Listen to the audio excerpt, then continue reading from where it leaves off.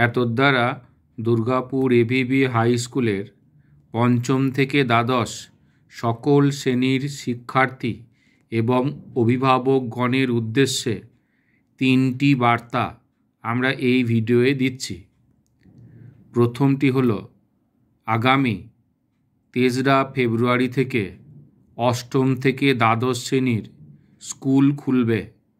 কাজেই শিক্ষার্থীরা সবাই তৈরি থাকবে এবং যেমনভাবে স্কুল আসো, সেইভাবে স্কুল আসবে। অবশ্যই সমস্ত করোনা বিধি মেনে স্কুল আসবে। এই ক্ষেত্রে ওই ফিফটি পারসেন্ট স্কুল আসবে ফিফটি পারসেন্ট আসবে না, এইরকম কোনো সার্কুলার এখনও আসেনি। আমরা নিশ্চয়ই তিন তারিখে এ সম্বন্ধে আরও বিস্তারিত তথ্য দিয়ে দেব। দু নম্বর মিড ডে মিল সংক্রান্ত।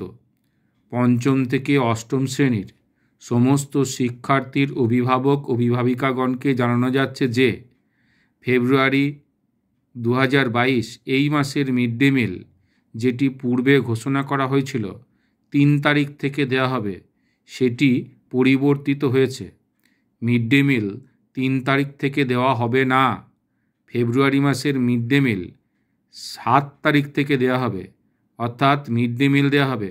সাতই ফেব্রুয়ারি দু হাজার বাইশ, আটই ফেব্রুয়ারি দু হাজার বাইশ, নয়ই ফেব্রুয়ারি দু হাজার বাইশ এবং দশই ফেব্রুয়ারি দু হাজার বাইশ। প্রতিদিন বেলা এগারোটা থেকে একটা পর্যন্ত। অভিভাবক, অভিভাবিকারাই কেবলমাত্র মিড ডে মিল নিতে আসবেন। এই মিড ডে মিল এর সঙ্গে আপনারা অ্যাক্টিভিটি টাস্কের উত্তরপত্রগুলো পূর্বে যেমন বলা হয়েছিল, সেইভাবে নিয়ে আসবেন।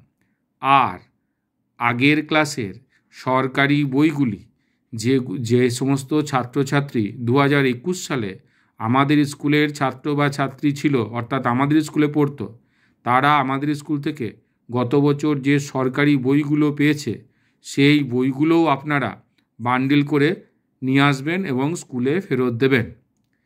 তিন নম্বর বিজ্ঞপ্তি, আমাদের, আপনাদের, আপনারা নিশ্চয়ই অবগত আছেন যে নবম থেকে দ্বাদশ শ্রেণির ছাত্রছাত্রীদের ভ্যাকসিন দেওয়া হয়েছিল, তেসরা জানুয়ারি, চৌঠো জানুয়ারি এবং পাঁচই জানুয়ারি দু হাজার বাইশ, যাদের ভ্যাকসিন নেওয়া হয়নি এবং যাদের জন্ম দু হাজার পাঁচ সালে দু হাজার ছয় সালে কিংবা দু হাজার সাত সালে। সেটা নাইনের ছেলে মেয়ে হতে পারে, টেনের ছেলে মেয়ে হতে পারে, ইলেভেন, টুয়েলভের হতে পারে, এমনকি ক্লাস এইটের ছেলে বা মেয়েও হতে পারে। ক্লাস এইটের ছেলে বা মেয়েও হতে পারে। যারা ফার্স্ট ডোজ ভ্যাকসিন নেয়নি, তাদের দু তিন দিনের মধ্যেই ভ্যাকসিন দেওয়ার ব্যবস্থা করা হবে। কাজেই যারা স্কুলের মাধ্যমে ভ্যাকসিন নিতে চাও, অথচ ফার্স্ট ডোজ নিতে পারোনি কোনো কারণে, তারা কোউইন অ্যাপে গিয়ে তোমাদের ভ্যাকসিন নেওয়ার জন্য রেজিস্ট্রেশন করে নাও। কারণ দু একদিনের মধ্যেই আমাদের স্কুলে ভ্যাকসিন দেওয়ার নোটিশ চলে আসবে, তখন তাড়াহুড়ো হয়ে যাবে।